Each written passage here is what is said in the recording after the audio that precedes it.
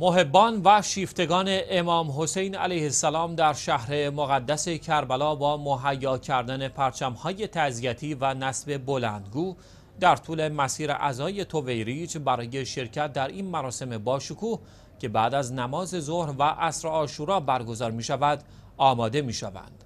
مسیر عزاداران تویریج از منطقه السلام آغاز و بعد از عبور از خیابان تویریج به محورها و خیابانهای منتهی به حرمین امام حسین و حضرت عباس علیه السلام ختم می شود.